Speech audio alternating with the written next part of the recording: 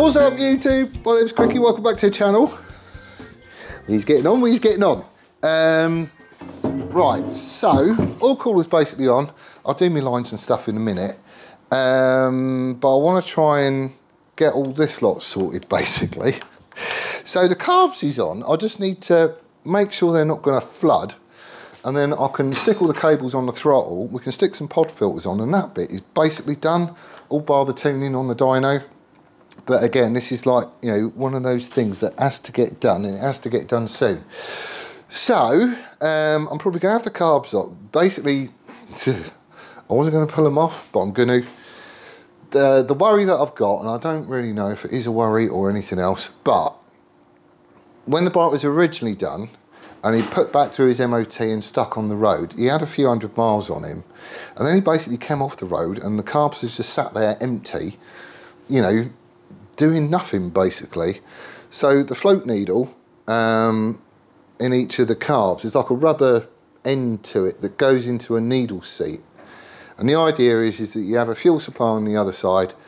So as the fuel bowl fills up, the floats rise and this needle goes into its seat and it just shuts off the flow of fuel. Thing is, I don't know if those little rubber jobbies on the end, if they perish or they go hard or just, you know, leaving them empty and dry, causes any harm to them so they don't seat properly. If it doesn't, then basically you're going to empty your tank into the carb the carb's going to fill up, it'll overflow, it'll all go into the cylinder, wash its way past, you know, because there is a tiny little gap between the, the cylinder wall and the piston itself, and it'll all end up in the sump. So you just end up with a sump full of petrol. I don't want that because that's really bad. Because if you try and start it and it's full in there, you just hydrolock it and you can do all sorts of nasty there. So I just want to make sure that these carbs are sealing off properly before I hook everything else up to them um, and get it ready for a dyno. So they're coming off. We'll set it up on the bench, hook some fuel up to it, and just see if they puke out fuel, basically. So, what size are you? Oh, you want a little diddy one, didn't you? Right.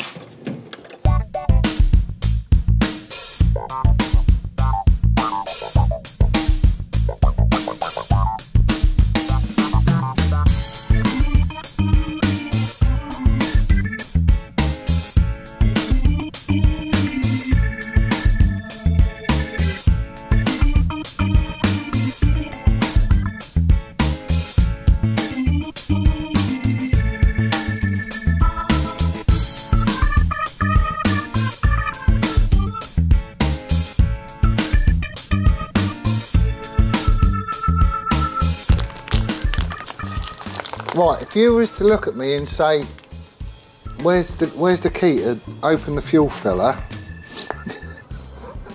I would look at you blank for a minute and then I'll, I would be running around the workshop for half hour trying to find the buggers because I can't find them.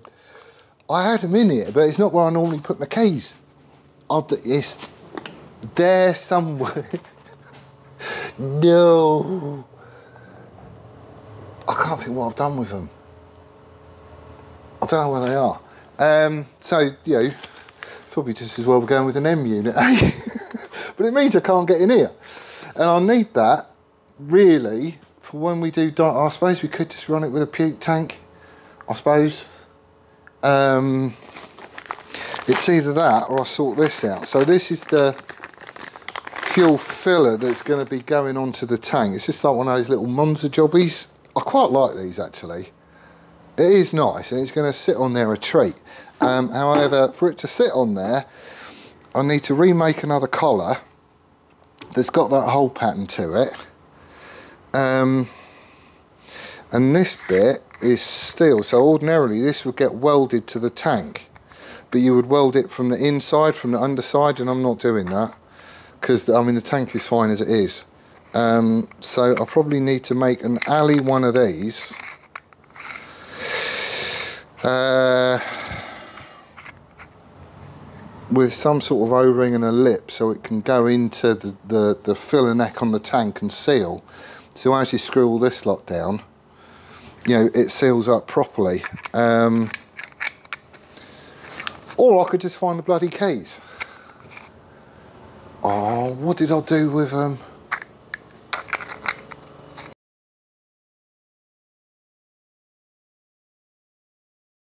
Right, I'm not showing you how I did that bit because that was horrible.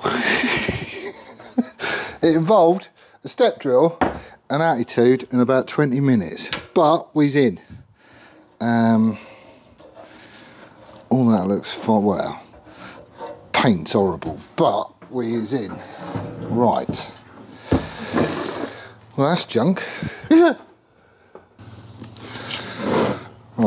all that is going to need to be drained out and flushed and cleaned and everything because there's bits of filings and all sorts in it. So bear with me. Right, this fuel tap looks a little bit on the ropey side as well. So we're going to have all this out, give it a clean up. I think I've got a service kit for it. I think it, had, I think it actually had one when I put the bike back on the road. You know, when its first MOT and whatnot, after I got it. Um, but turning the fuel tap on, there's like a dribble coming out of it, which won't do. So we'll have all this lot off, we'll give it a clean up, see what the filter's like and all that sort of stuff. Um, it probably just needs a damn good clean actually. Um, the inside of the tank looks nice and clean, apart from all the little chips that I just threw in there. But all this is going to get drained and flushed out and you know basically cleaned up and everything else. I can take some measurements off the top and I should be able to have a go at doing a collar for the new fuel tap yeah the, the fuel cap thing that I've got because I need to be able to get in and out of it come on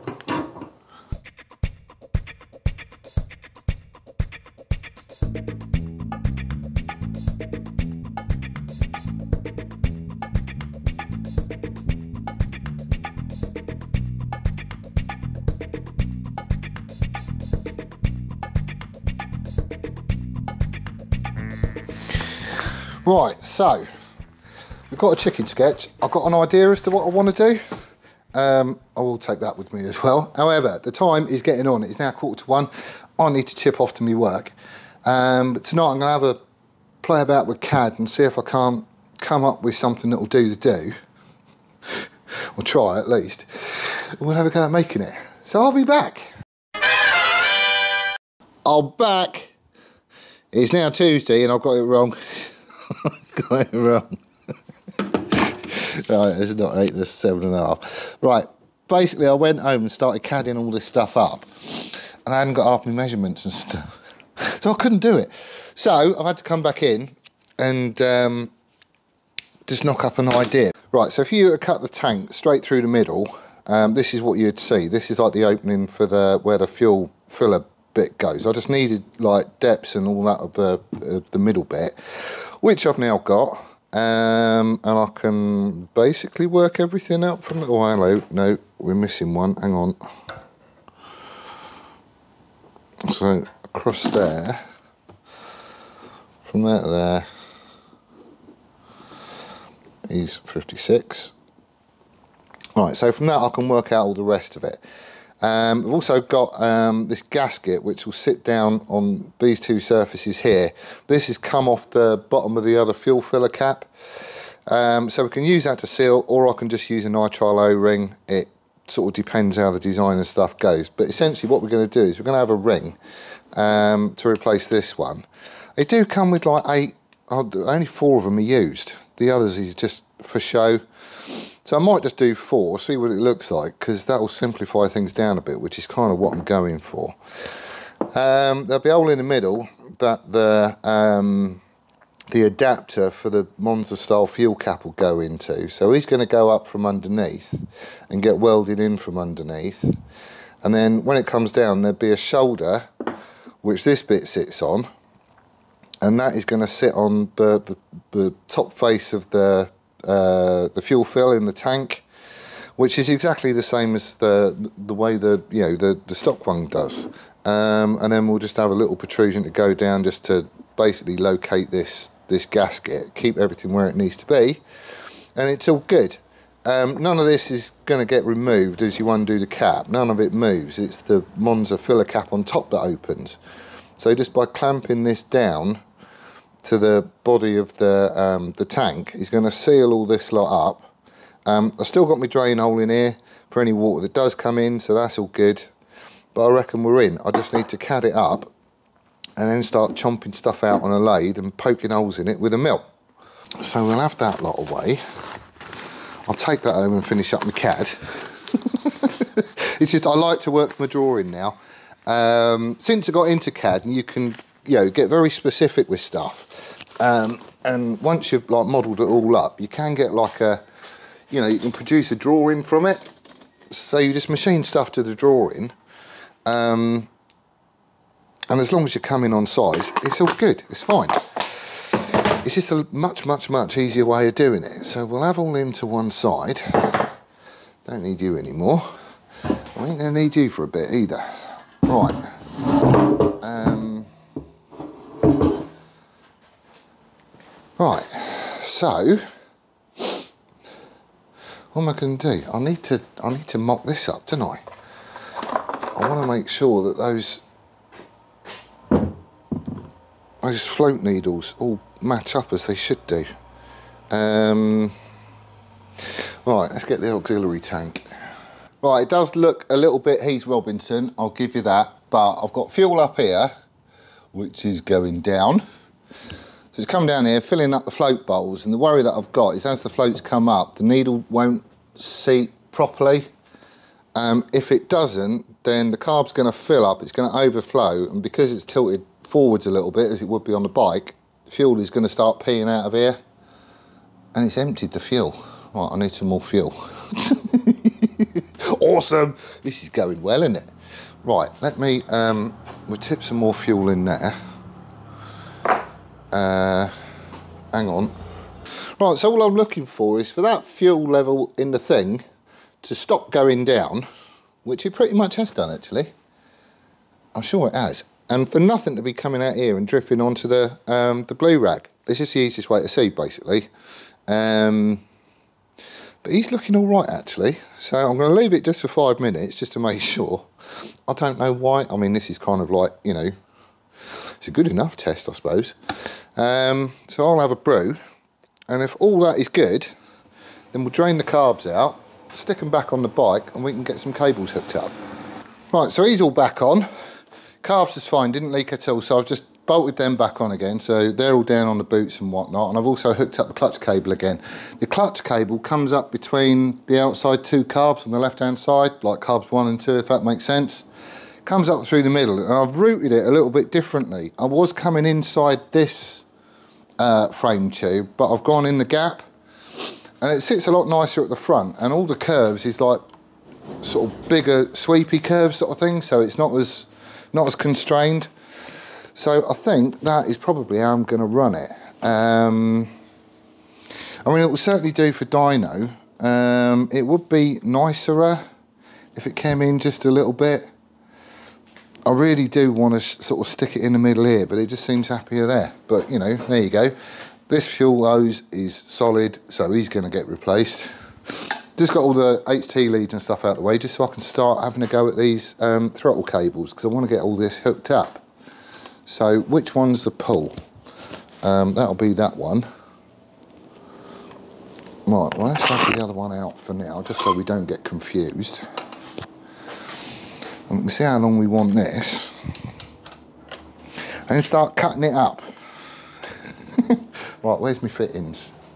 Uh, um, um, um,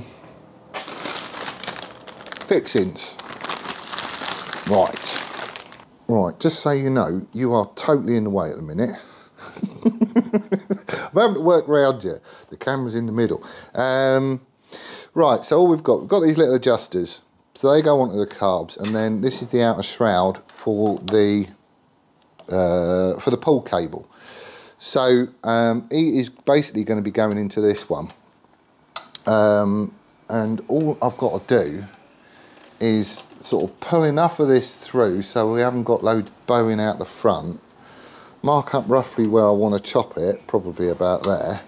We'll go a little bit long, like just give it like an extra, you know, 15 mil, something like that.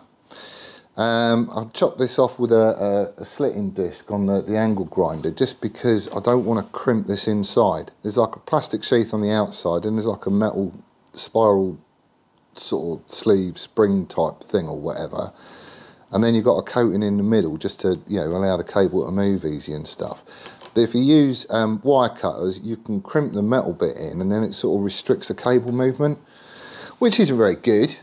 So we'll have all this roughly to length, mark it off, cut it off, um, see if it fits. If I need to take a little bit more, I will do until I'm happy with it. And then we'll just match up the other cable sleeve, um, just so they're running nicely together up the front of the bike. You're going to have to move though, because you are totally in the way.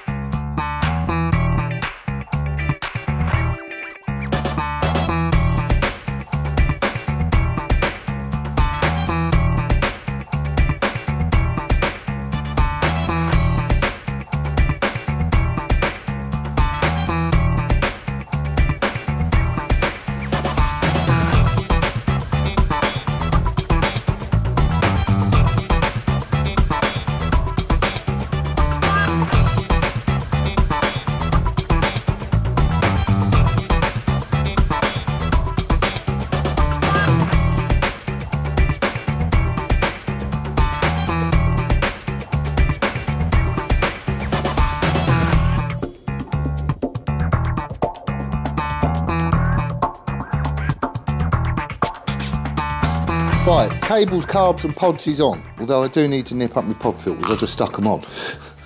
They're not nipped up or anything. Um, so now I'm just cocking about with HT leads. Um, trying to come up with ideas as how to route everything and how to keep it all tidy. I'm probably going to loop it back this way and have some sort of uh, cable tidy at the top. So we'll still be able to wire in all the primaries and everything else. But from the side view, all I want is HT leads to pop down and just go straight into the head like that. Um, I don't want big mess and nasty. Um, there is like a dip on the underside of the tank that goes into this hole. Um, and it comes past these side bits, so I can't use that. So I'm thinking of a cable tidy up here. It would look good. It does have like an extra protective sheath thing on the, the HT leads. So we ain't gonna have any troubles there and it just neatens it all up. It looks all right. I do need to shorten a few but it's an idea. So I'm going to work out some sort of cable tidy, I think. It could just be zip ties, um, but we'll see. It just keeps everything off the engine and it just opens it all up when you look from the side. So I might be doing something like that. I need to try the tank on and just make sure everything's clear and, you know, nothing's rubbing. But I think I'm on to something. So anyway, I need to chip off to me work, but I'll be back. I'm back. Right, that's that. We'll get to that in a sec. It's very freezing cold in here. Um, came out of work last night, uh, 11 o'clock, and everything was white. It had snowed, which it rarely does in Plymouth, and everything was frozen. But you say, well, okay, that's all right, just put the heaters on. Well, I couldn't. I haven't done this bit yet. I haven't stuck this in the van to sort my blowers out and stuff. About half hour, I was trying to get all the windscreen cleared just so I could drive home, and I couldn't get it cleared. So I ended up window open, head out the window like a flaming Labrador with your ears going like this. and that's how I drove home. Freezing cold, even with a woolly hat. And that blew off, I had to stop and go and get it. Um, this is all the Goodrich stuff, all my brake lines and fittings and all that sort of stuff. That's going back. Um, they do them in just like set lengths and stuff. Um, and the, the lines, you can't rebuild them. So it's not like a nut and an olive and all that sort of stuff. And I've gone through measuring up and, just from the length of the lines that they do, and they do do them in increments, was it 50 mil or something? I can't remember.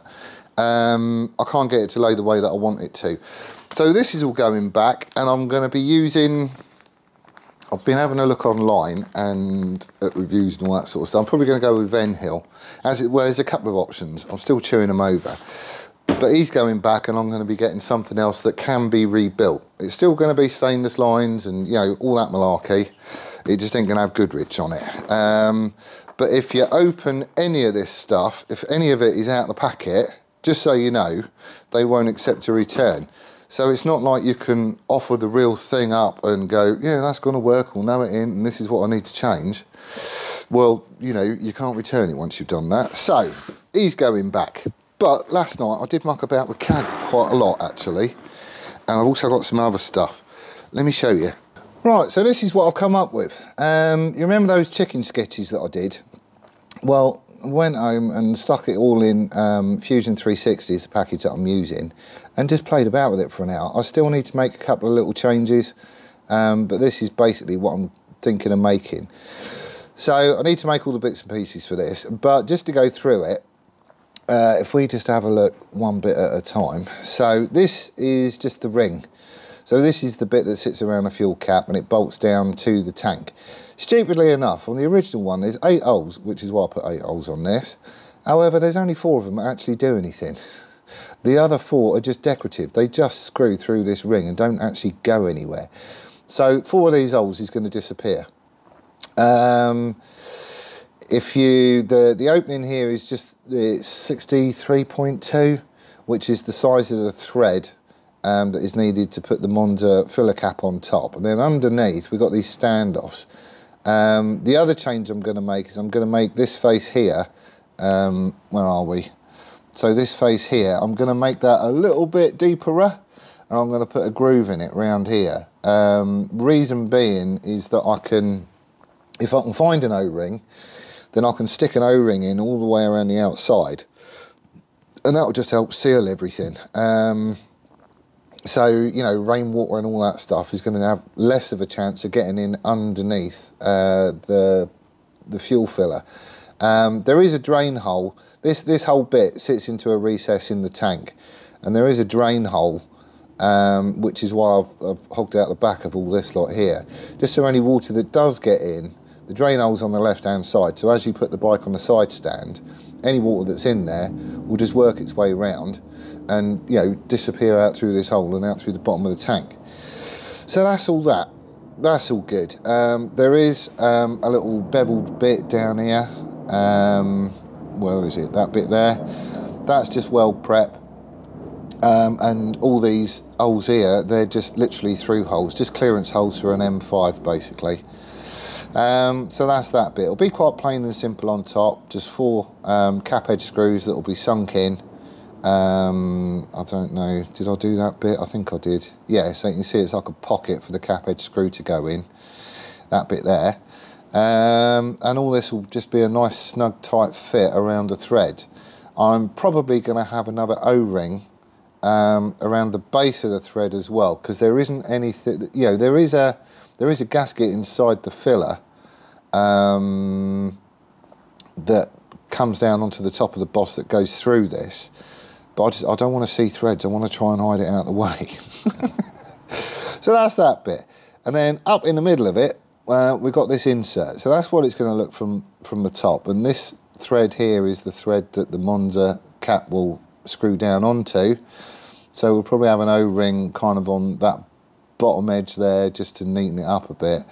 Um, and this surface here is where the gasket inside um, the Monza cap sort of sits down and seals it all up. So that's all good and cushy. If we just get rid of the ring, um, so we're just looking at this. Um, so this whole bit here, um, that basically goes up through that ring that we've just been looking at. Um, again, there is a, a bevel sort of here. Again, that's just the other side of the weld prep. Um, I'm not going to need to fully weld the whole thing around because um, there's going to be seals everywhere. Um, but it is going to be welded to the ring, I think. Then this face here kind of goes down through the ring. Uh, and this face here is where that gasket sits that I took off the old um, fuel cap. So there's like a 2 mil gasket in here, um, which is going to seal this bit um, down to the top of the tank. There's like um, where where you where you uh, fill it up. There's like there's like, like a rolled edge, and and that's what this you know this gasket is going to sit down onto. Um, that ring there is just a retaining ring to keep that gasket in the right place. And then this face here is going to disappear down into the tank. Um, just because I don't want you to be able to see like when you're filling it up, I don't want you to, to be able to see a separate bit to it, if that makes sense. Um, and if this protrusion goes down into the tank as well, then, you know, even if you're slap happy and stupid with a petrol pump, you're still not going to flood that recess with fuel. So that's what I'm thinking. Um, there is a gasket that sits here. So that's that rubber gasket that I was on about that I took off the, um, the, the fuel filler, you know, the old one. Um, so that's where he's going to sit. So altogether, you know, I mean, it, it don't look too bad. Couple of little changes. Um, get rid of four of these holes. See if I can find an O-ring the right size, and if I can, I think this is 106 mil diameter, something like that. Wouldn't need to be a massive chunky one or anything, but I would just like to have another seal around the outside of this. Just, you know, because reasons. I reckon that's going to do the do. I reckon that's not so bad. Um, and I've already made a start on it actually. So I've come up with this. So this is going to be that red ring that you see on there. And he does just fit into that, that recess on top of the tank here. Um, doesn't go all the way down because obviously I need to take some of the bottom out and whatnot. Uh, and it's got a 55 mil hole in it, which isn't big enough for that boss to go through. But it does mean that I could stick it on the chuck. Because that basically started life as a chunk of this. so basically scribed a circle, cut it out with a bandsaw. It wasn't very round, um, but then stuck a hole in the middle so it could go onto the lathe. And then it was an interrupted cut. I don't like interrupted cuts, I've found out. Um, but you know, we've got it all round and nice and everything else. So it's a starter for 10. Um, I probably don't need this to run it on the dyno. I'm going to have a chat with Crispy. Um, i need to get him to come down and have a look at the bike actually. Um, but what I'm thinking is that um, I know he's got like a big auxiliary tank because we use that on the ZZR. So we could run it without a tank, which would simplify things quite a lot. So if I crack on and concentrate on making the battery tray thing shelf that he's going to stand on, um, then we can get the battery secure. So as long as he doesn't mind sitting on something on the subframe, as long as he's, you know, he can do what he needs to do, um, and as long as he's happy having his plums sitting on an M unit, I've got like a leather um, uh, apron down there. So we can, you know, put that over top of the electrics. He can sit on something and hopefully that'll be good enough. I'll, I'll need to get him to come down and have a look. He also needs to tell me what else he's going to need on the bike to be able to run it safely on a dyno. Um, I'm just going with common sense at the minute, but I don't know, there might be something that he specifically needs.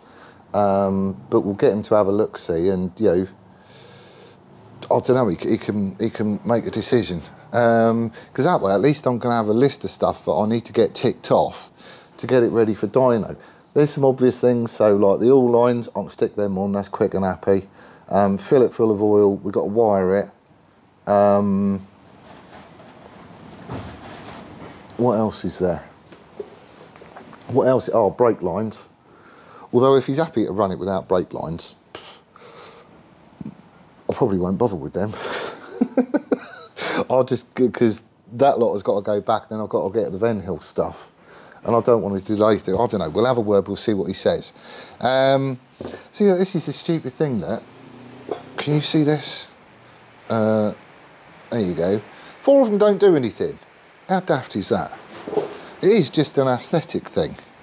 And it's not even like they're blind holes either. They've got this stupid, it's just, it's not even a screw.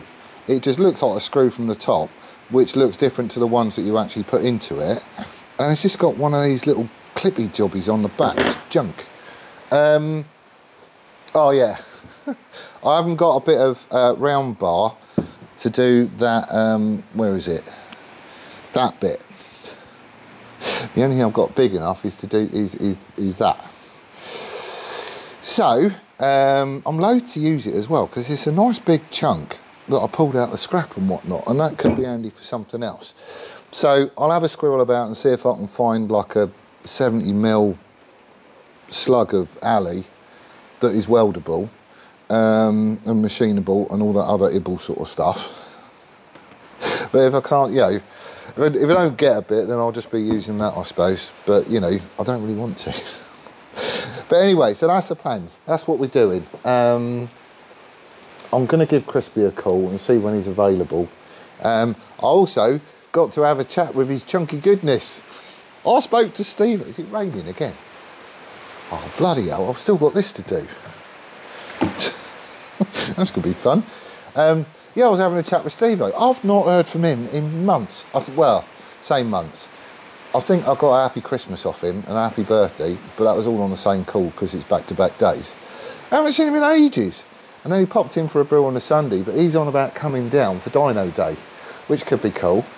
Um, he's got his girls every other weekend. So it just depends, like when we're ready, as to whether he comes down for first start up or whether he comes down for Dyno. Um, if I can, I want to dine out on Saturday, but you know, again, that's a conversation to have with Crispy. So there you go. That's sort of what you can expect. Um, I did get a nice finish on that though. I'm quite chuffed with that. Right, so that's where I'm going to leave it. Thank you ever so much for watching. I do hope you're well and staying safe. We'll see you on the next one. Laters!